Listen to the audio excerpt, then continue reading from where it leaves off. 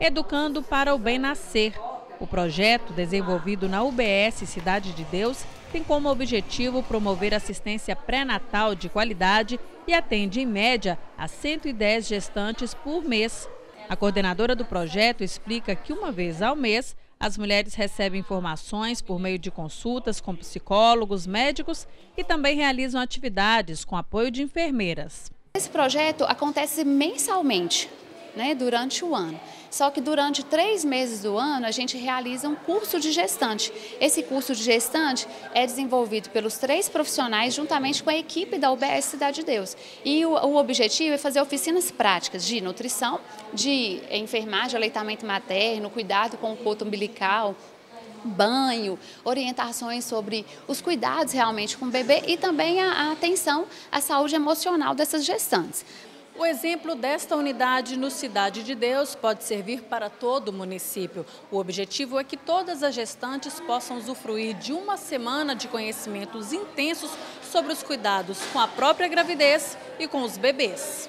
É o projeto 118 de 2014 que realmente institui, inclui no município de Sete Lagoas as semanas das gestantes. Eu acho que é uma, vai ser uma semana importante que já aconteceu aqui nas unidades da Cidade de Deus, Bougainville e Dona Silva, e que temos né, a esperança que isso seja estendido também às outras unidades. Que as gestantes, né, ela precisa de uma atenção, precisa de um carinho especial. Haja visto que é, a saúde das pessoas, a formação do cidadão, ela começa realmente é, na barriga, no ventre das mães. Tamires é mãe de primeira viagem, está prestes a ganhar Maria Alice.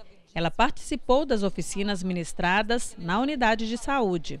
Para mim foi muito bom, porque é meu primeiro filho e eu tive muitas assim, não tenho experiência, mas os cursos que deram, eu participei de todos.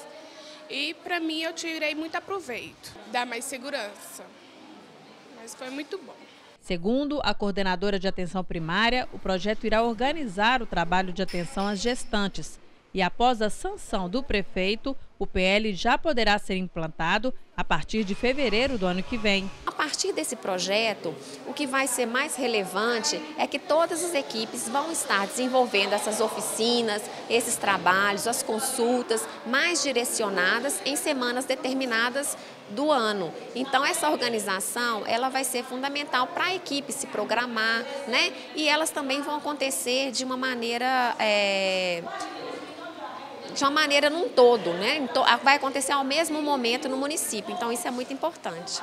O vereador Renato Gomes aproveitou para reconhecer o trabalho das enfermeiras que desenvolvem o Educando para o Bem Nascer e entregou moções de congratulações às profissionais.